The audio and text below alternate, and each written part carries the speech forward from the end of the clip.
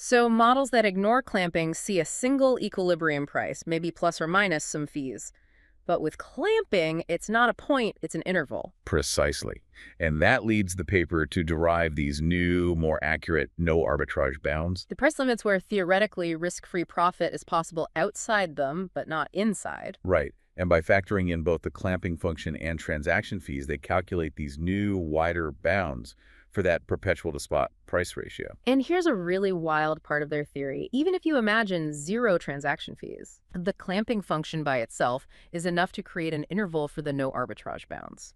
It's not just fees widening a point. The clamp fundamentally creates a range where the price can sit without triggering arbitrage based on funding flows. That's a key insight. The clamp itself changes the equilibrium. So what determines how wide these new bounds are? Well, logically, it depends on a few things. The clamping factor, eta itself, how big is that dead zone? Bigger eta, wider bounds. Makes sense. Then obviously transaction fees, spot Mm. fees, futures fees, Kia and their math.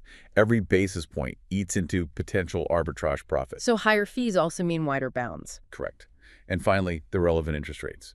The cost of holding or borrowing the assets involved, like USD or the crypto itself, RTRC or NORRC. Okay, so clamp size, fees, interest rates all contribute to how much the price can deviate before a real arbitrage opportunity opens up according to this new model.